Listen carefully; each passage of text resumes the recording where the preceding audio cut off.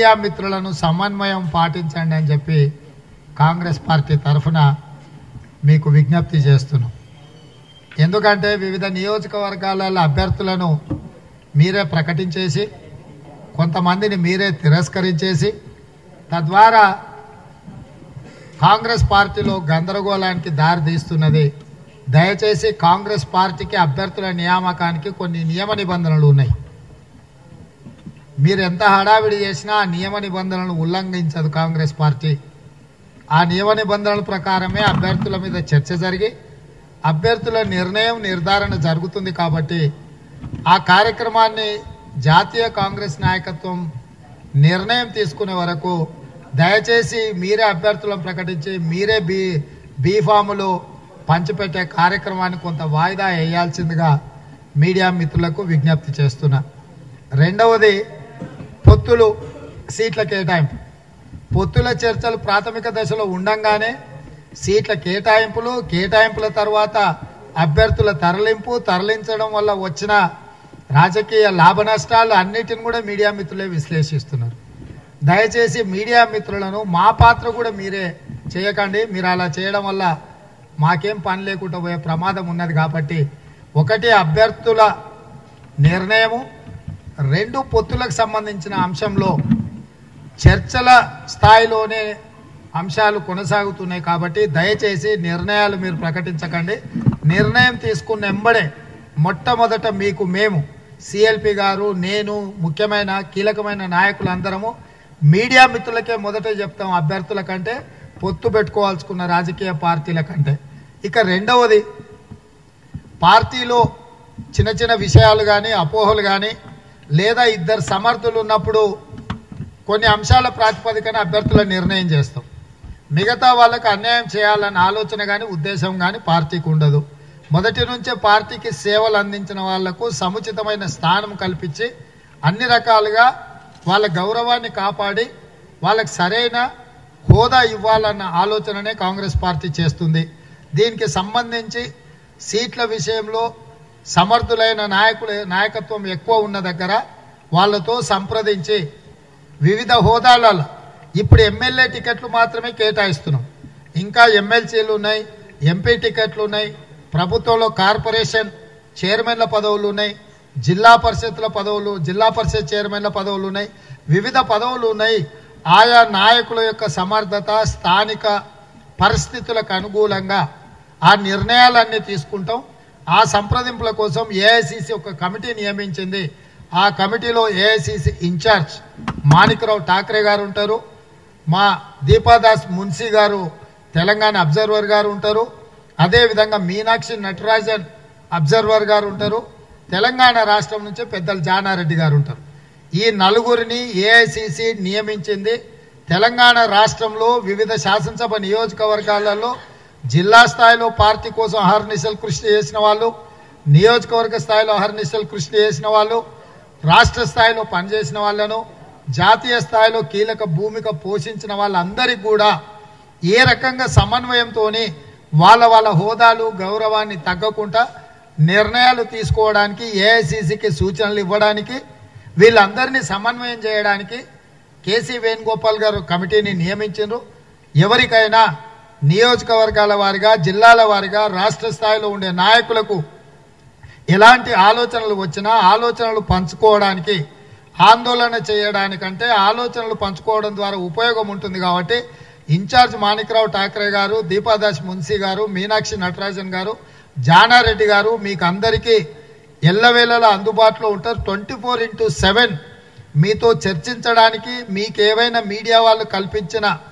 అపోహలు కానీ గందరగోళాన్ని కానీ తొలగించడానికి నాయకత్వం మీకు పూర్తి స్థాయిలో అందుబాటులో ఉంటుంది. ఆ నిర్ణయం కూడా ఈరోజు పిఎస్సిలో చర్చించి నిర్ణయం తీసుకోవడం జరిగింది. అదేవిధంగా ముఖ్యంగా ఎన్నికలు అనగానే అధికారుల పాత్ర అత్యంత కీలకం. గత కొన్ని సంవత్సరాల నుంచి మనం చూస్తున్నాం ఐఏఎస్లు ఐపీఎస్లు అంతకంటే దిగువ స్థాయిలో ఉండే అధికారులు. టీఆర్ఎస్ పార్టీ కార్యకర్తల కంటే కూడా ఇంకా ఎక్కువగా టీఆర్ఎస్ పార్టీ కోసం పనిచేస్తుండ్రు. అలాంటి అధికారులందరినీ కూడా ఎవరెవరు ఉన్నారో వాళ్ళందరి వివరాలను సేకరించి వాళ్ళ మీద కేంద్ర ఎన్నికల సంఘానికి రాష్ట్రంలో ఉండే సీఈఓ గారికి వివిధ శాఖలకు ఫిర్యాదులు చేయాలన్న చర్చ కూడా జరిగింది. ఉదాహరణ రాష్ట్ర డీజీపీ గారు ఆంధ్రప్రదేశ్ క్యాడర్కు సంబంధించిన అధికారి సైబరాబాద్ కమిషనర్ స్టీఫెన్ రవీంద్ర గారు చాలా సంవత్సరాల నుంచి అక్కడ పనిచేస్తుండు. టాస్క్ ఫోర్స్లో రిటైర్ ఎప్పుడో అయిపోయిన అధికారులను తీసుకొచ్చి పెట్టిండ్రు. ఎస్ఐబిలో ప్రభాకర్ రావు అనే అధికారి కేసీఆర్ బంధువు ఉన్నాడు. ఇట్లా వివిధ హోదాలల్లా వాళ్ళ బంధువులను రిటైర్ అయిపోయిన వాళ్ళను లేకపోతే పూర్తిగా వాళ్ళ పార్టీకి కొమ్ము కాసే ఐఏ ఐపీఎస్ అధికారులను అంటే డీజీపీ నుంచి డిఎస్పీ వరకు ఈ పరిధిలలో ఉండే కొన్ని దగ్గరలో సిఐలు కూడా అతిగా ఉత్సాహాన్ని ప్రదర్శిస్తున్నారు. వాళ్ళందరి వివరాలను సేకరించి వాళ్ళతో పాటు ఐఏఎస్లు.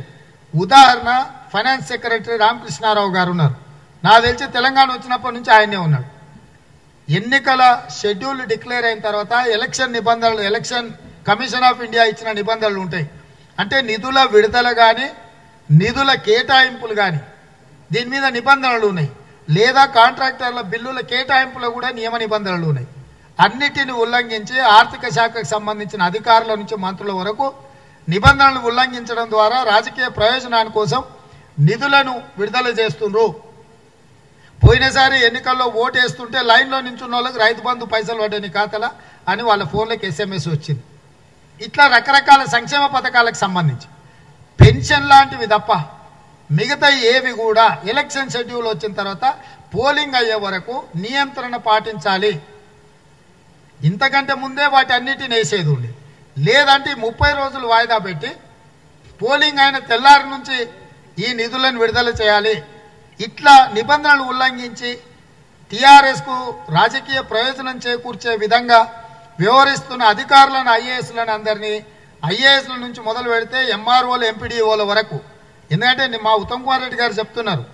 నిన్న ఎంబడే బీసీ బంధు దళిత బంధు లేకపోతే గృహలక్ష్మి పథకాలు ఎలక్షన్ షెడ్యూల్ అనౌన్స్ అయినాక హడావిడిగా వాళ్ళ కలెక్టర్ గారు పిలిపించేసి లిస్టు తయారు చేయండి అప్లోడ్ చేయండి బెనిఫిషియర్స్ లిస్టు ఫైనల్ చేయండి వాళ్ళందరికీ లెటర్లు ఇవ్వండి. తద్వారా గ్రామాలలో మన రాజకీయ ఆధిపత్యాన్ని సాధించవచ్చని నిన్న రాత్రి వరకు అదే పని మీద కూర్చున్నారంట. సేమ్ గద్వాల్ సేమ్ అల్లు అన్ని జిల్లాలలో. అది కలెక్టర్లు కావచ్చు ఎస్పీ కావచ్చు. గతంలో మీరు సూర్యాపేట ఎస్పీని చూసారు ఆ మంత్రి బాహుబలి టీఆర్ఎస్ అసలు అద్భుతం. అట్లాంటి అధికారులు ఇప్పుడు ఆడనే కొనసాగుతున్నారు. మూడోది మా వెంకటరెడ్డి గారు కొన్ని విషయాలు తెచ్చారు నల్గొండ కలెక్టర్ను తీసుకొచ్చి భువనగిరికి వేసారు ఇప్పుడు ఉదాహరణ మున్గోడులో కొన్ని మండలాలు నల్గొండలోనే కొన్ని మండలాలు భువనగిరిలో ఉన్నాయి. అసెంబ్లీ ఎన్నికలలో ఎన్నిక నిబంధనలు నియమాలు వర్తించదా? ఇప్పుడు కొన్ని అసెంబ్లీ నియోజకవర్గాలు మూడు మూడు జిల్లాలలో ఉన్నాయి. ఆ జిల్లాలో ఉన్న కలెక్టర్ని ఈ జిల్లాకు బదిలీ చేసినామంటారు కానీ ఆ శాసనసభ మూడు మూడు నియోజకవర్గాలలో ఉంది. లేకపోతే కొన్ని మండలాలు సర్కిల్ ఇన్స్పెక్టర్కి ఇక్కడ ఉన్నాయి కొన్ని అక్కడ ఉన్నాయి. అవతలు ఉన్నాయి నన్ను బదిలీ పేరు మీద యువతలకి తీసుకొచ్చారు అంటే కొన్ని వ్యూహాత్మకంగా చట్టంలో ఉండే చిన్న చిన్న లొసుగులను వాడుకొని ప్రభుత్వము పూర్తిగా ఎన్నికల ప్రక్రియనే అపహాస్యం చేసే విధంగా వ్యవహరిస్తున్నది. అందుకోసము ఒక ప్రత్యేకమైన కమిటీని నియమించి కాంగ్రెస్ పార్టీ. ఆ కమిటీ నేతృత్వంలో పోలీస్ అధికారులు కానీ రెవెన్యూ అధికారులు కానీ ఐఏఎస్లు కానీ ఐపీఎస్లు కానీ వీళ్ళందరూ పార్టీకి అనుకూలంగా టీఆర్ఎస్కు పనిచేసే వాళ్ళందరినీ కూడా ఎక్కడున్న వాళ్ళ వివరాలను సేకరించి కేంద్ర ఎన్నికల సంఘం నుంచి ఈడ చీఫ్ ఎలక్టోరల్ ఆఫీసర్ వరకు అన్ని హోదాలలో వాళ్ళ మీద ఫిర్యాదులు చేయడానికి ఒక ప్రత్యేకమైన కమిటీని నియమించి నిఘా పెట్టాలని చెప్పి ఈరోజు మేము నిర్ణయం తీసుకున్నాం. ఇదే కాకుండా ఎన్నికల నియమావళి ప్రకారం టీవీలు కానీ పేపర్లు కానీ కొంత నియంత్రణ పాటించాలి ఎన్నికల నిబంధనలు పాటించాలి. రాజకీయ పార్టీల సొంత టీవీలు సొంత పేపర్లు ఇష్టారాజ్యంగా కుట్రలు చేసి కాంగ్రెస్ పార్టీలు ఏదో జరిగిపోతుంది. లేకపోతే మా సమావేశాలలో స్క్రీనింగ్ కమిటీ సమావేశాలలో చొక్కాలు పట్టుకున్నారు లేకపోతే అంగీలు చించుకున్నారు వీళ్ళు కొట్లాడుకున్నారు కొట్టుకుంటున్నారని ఇట్లాంటి అపోహలు సృష్టించి రకరకాల అంశాలు రాస్తురు వాళ్ళందరి మీద కూడా ఆ టీవీలు ఆ పేపర్ల మీద. తప్పుడు వార్తలు వేసే వాళ్ళ మీద ఎన్నికల నియమావళి ప్రకారం యాజమాన్యాల మీద రిపోర్టర్ల మీదనే కాదు క్రిమినల్ కేసులు పెట్టడానికి అవసరమైన నియమ నిబంధనలు అన్నింటినీ పరిశీలించి అదేవిధంగా వాళ్ళ పార్టీలకు ఇరవై నాలుగు గంటలు బాగా ఊదుకుంటూ ప్రచారం కల్పిస్తే అది కూడా ఎన్నికల ఖర్చు. ఒక టీ ఒక పేపర్లో ఫుల్ పేజ్ యాడ్ ఇస్తే ఎంత ఖర్చు అవుతుందో ఆ టీ ఆ పేపర్లలో ఆ పార్టీకి సంబంధించిన వార్తలే పూర్తి స్థాయిలో ప్రచారం కల్పిస్తే కూడా అది అడ్వర్టైజ్మెంట్ కింద క్యాలిక్యులేట్ చేసి ఎన్నికల ఖర్చు ఆ పార్టీ అభ్యర్థుల ఖాతాలలో రాసి వాళ్ళని అనర్హులుగా ప్రకటించే నిబంధనలు ఉన్నాయి.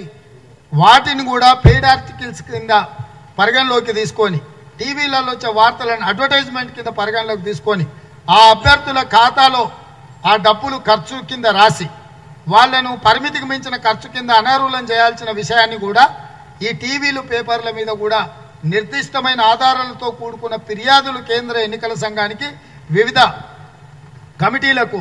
ఎందుకంటే ఎలక్షన్ నోటిఫికేషన్ షెడ్యూల్ రాగానే ఈ వీటిని అబ్జర్వ్ చేయడానికి actual election commission of India ఒక ప్రత్యేకమైన కమిటీని నియమించాలి. గతంలో నియమించేది మధ్యకాలంలో ఆ ప్రక్రియనే ఎక్కడ పోయిందో తెలియదు. అంటే నిఘా పెట్టడానికే టీవీలలో పేపర్లలో వచ్చే వార్తలన్నిటి మీద కూడా నిఘా పెట్టి చర్యలు తీసుకోవడానికి ఎన్నికల సంఘం చర్యలు తీసుకోవాలి. మన ఫిర్యాదులను కూడా ప్రత్యేకంగా పరిగణించాలి. కాబట్టి వీటికి సంబంధించి కూడా మేము ఒక ప్రత్యేకమైన టీంను పెట్టి మీ ద్వారా ఆ టీవీలకు పేపర్లకు మేము హెచ్చరిక జారీ చేస్తున్నాము. మీరు ఇట్లనే చేసిండ్రంటే రాజకీయ నిరసనను ఎదుర్కోవాల్సి ఉంటుంది. అదేవిధంగా మేము పెట్టే క్రిమినల్ కేసులను కూడా మీరు ఎదుర్కోవాల్సి ఉంటుంది. మీరు ఇష్టారాజ్య రీతిన కీలకమైన నాయకుల మధ్యలో అపోహలు వచ్చినాయని మనస్పర్ధలు ఉన్నాయని వార్తలు రాయడం ద్వారా కింద కార్యకర్తల మధ్యలో గందరగోళం సృష్టిస్తే ఈసారి కాంగ్రెస్ పార్టీ ఎవరిని ఉపేక్షించదు? వాళ్ళందరి మీద కూడా చర్యలు తీసుకుంటాము కఠినంగా వ్యవహరిస్తామని చెప్పి మీ ద్వారా మీడియాకు చెప్పదలుచుకున్నాం.